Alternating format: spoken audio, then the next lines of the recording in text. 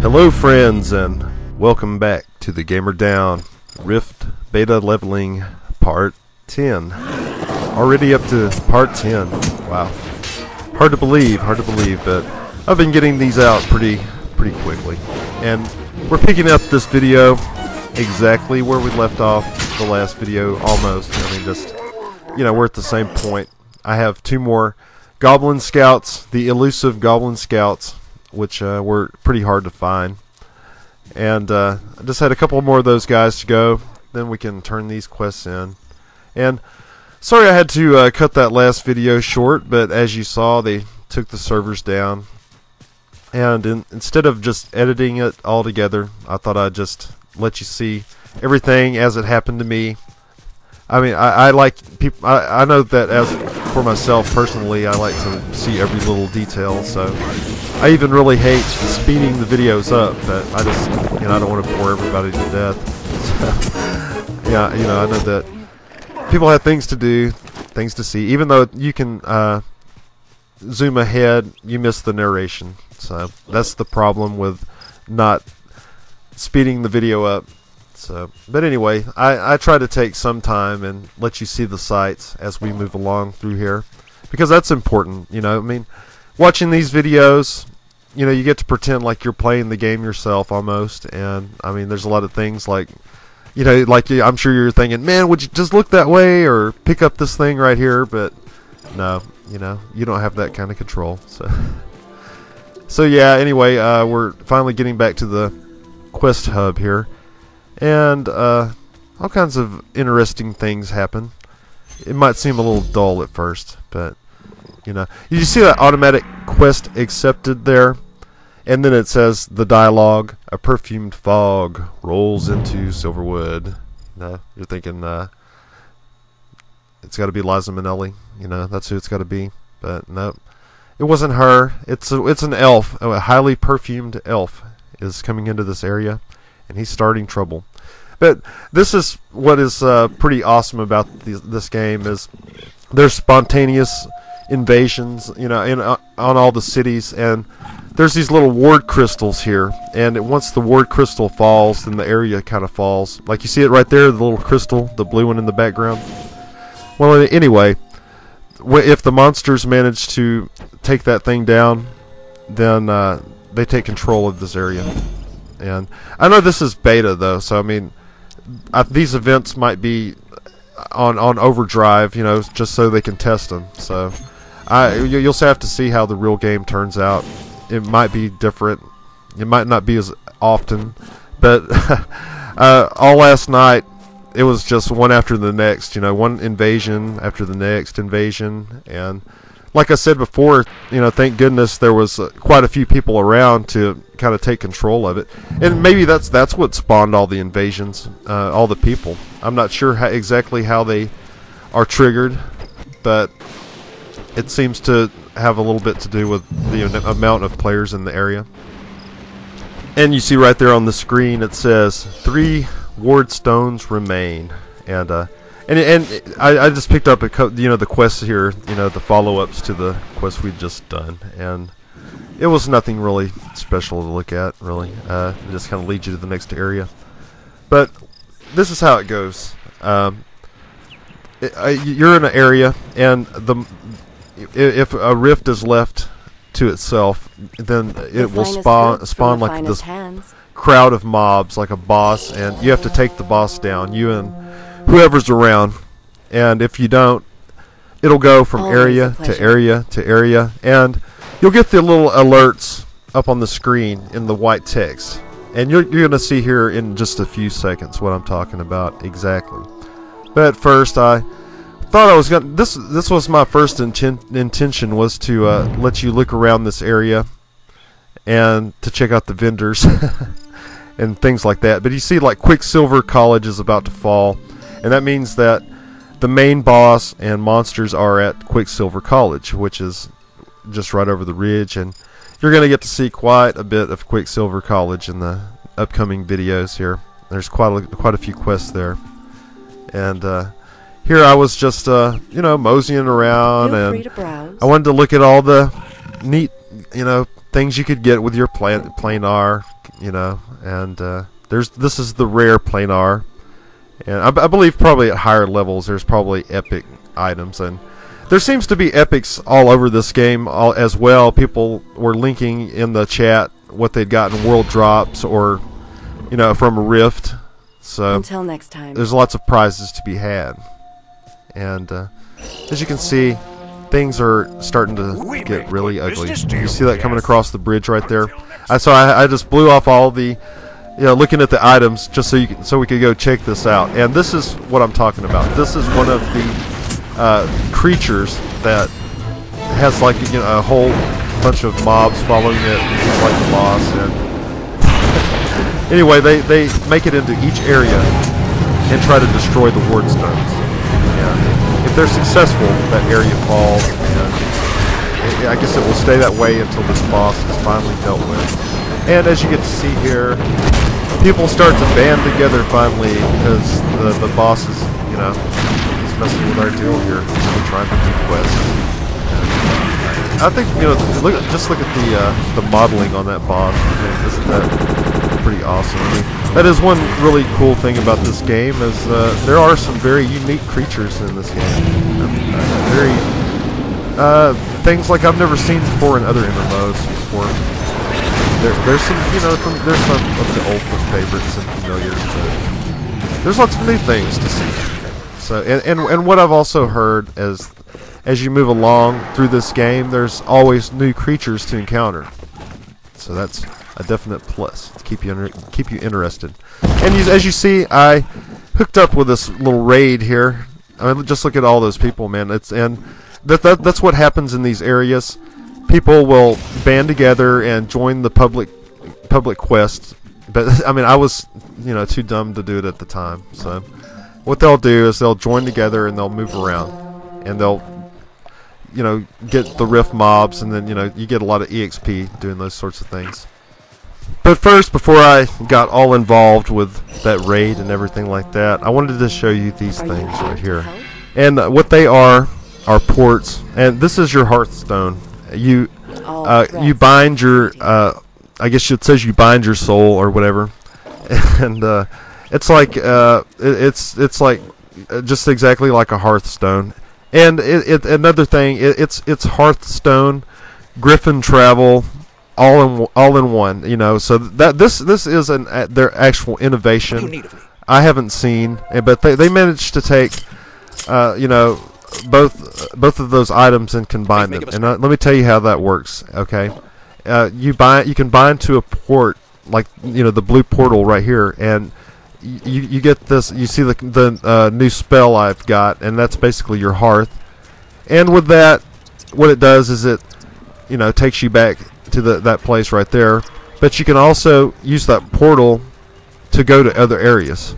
So it's also like a, a travel mecha- mechanism. It's a it's a Griffin travel. Uh, you know, I know I keep using WoW, and there's probably maybe people watching this who've never played WoW. So I'll try not to uh, lean too heavy on the WoW terminology. But as you see here, uh, I, I keep getting distracted by this just this enormous raid of people.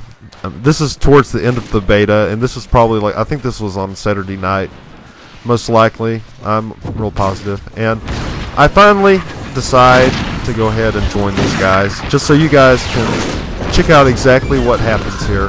And you see these waves of mobs, and until you take out the, the leader, the boss, you know, then, then you seal the rift, at least for that period of time. But uh, I don't, like I said, I don't know if it was the beta, but they just seem to just keep coming and coming and coming. It's just a never-ending ordeal. See, we killed the boss there, and it says invaders defeated, and this is just like a little bit of cleanup. And these guys seem to know where they were going, knew what they were doing, or something. And uh, I, I- you know, the, the beta's been around a while, so they probably do. And so I just tried to tag along and uh, get a get a little you know, view of what what happens in this game. Get off the questing for a few minutes there's plenty more questing up and up ahead. And uh, as you see, as as you kill every boss, it it says the invaders are, defeated, and I, I, I, you know, I guess these they're part of the rifts, or you know, are they either just scripted events of invasion? Uh, but they seem to have something to do with the rifts as well. It's really hard to tell. I mean, the lore on this game is uh, pretty tricky. You know, you have to you have to really get into it into it to understand it. And uh, you know, that's not faulting the game. I, I mean, I actually, I it, it's a a compliment to the players that they think that you're intelligent enough to figure out the lore on your own. And, and hopefully, most people are. And I think that people will rise to the occasion when you know they're given a challenge. Uh, you know, I think it's the dumbing down of games is one of the big problems, and it dumb, dumbs down the the entire player base. I mean, you are what you play. You know, just like you are what you eat. Just don't eat a game. That would be completely unhealthy. And as you see, I, I walked just right into uh, this gigantic mess here. Get completely annihilated. I tried to haul ass and get away, but no such luck. Uh, you know, then I then I start chasing them back, and I don't know. Uh, everybody was kind of dispersed at this time. Yeah, I think everybody was waiting for somebody else to make the first move. So, anyway, there I went, and I, I lo- see I, you lose your vitality, and that's like the durability in this game. If your vitality gets down to zero, it says you can take soul damage, or I don't know. It doesn't sound good. I mean, whatever, whatever soul damage is, it, it sounds pretty permanent, or sounds, sounds kind of bad. So, uh, and and this is uh, you know part of my noobism and a part of everything else, and having a little trouble seeing with this ghost filter on as well, and and all the environment kind of you know, looking a little bit similar to each other, and I noticed that when the when the rift is out like this, and and how I'm auto accepting these quests, that the rift uh, quest is taking priority over my normal quests, and so I, I it it, it kind of takes all those quest markers off and just shows you like the rift markers. Like you see there, it's showing the rift markers. And anyway, I, I did speed this up quite a bit so that you would ha- wouldn't have to endure this long, painful walk as I finally find my quest. I was just about done with all this madness, and I was just about ready to get back to the questing. I was I was worried I was going to get way too sidetracked and get way too far off. But here was one of the main bosses for this invasion here as well, and he, he looks pretty cool. Kind of a spin on Pan. And uh, here we all band together, but this this guy was one tough hombre. I tell you. I mean, I, I don't know if he was bugging out or what exactly was happening, but he becomes invulnerable at one point. I, I believe at this point right here. We're throwing everything we got at this guy, and uh, he's just not budging an inch. But you have to admit there are beautiful, beautiful graphics in this game, uh, but they did borrow quite a bit. Like you see the uh, portrait around the enemy right there, and that is almost a identical copy from Lord of the Rings. You know, for the elite mobs I won't fault them against it because uh, it, it is a beautiful design. Yeah, I guess uh, you're gonna borrow, you might as well borrow the best. And you can see I've got the quest complete. See, I, I you get the auto, auto, automatically get the quest. You know when you first start. You know, I mean, I, I- don't know if it was part of the beta, but you would automatically accept the quest. And then you join the uh, public group, and you would go around and you kill all the invaders. And uh, I try to speed this up a little bit, you know, so you don't have to see every single bit. But you see the wolves there, and uh, all the good stuff there, and all the nice creature designs. I am impressed by the creature modeling and the designs. And uh, like I'd mentioned earlier, ear- earlier, I'll try to get the words out here. Uh, you know, they're uh, quite unique. I mean, I, I think that you know somebody must have uh, dragged out a old Dungeons and Dragons book and modeled some things right directly from the book because I mean that, that that's what it kind of reminds me of. And uh, speaking of, I do have some of those old D and D books laying around, but we won't talk about that right now. And as you as you could see there, there was a life rift in the background. But anyway, I thought we'd just go ahead and skip all that nonsense and get back to uh, some of the things that we need to do here. Well, not nonsense. It was quite a bit of fun. And as you see here, uh, it has become nighttime. And look at all the really nice lighting effects. Isn't that beautiful? And you can see the fire effects.